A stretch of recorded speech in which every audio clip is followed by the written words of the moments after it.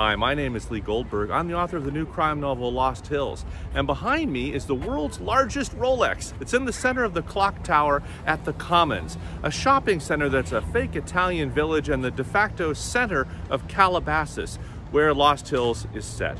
I hope you enjoy the book.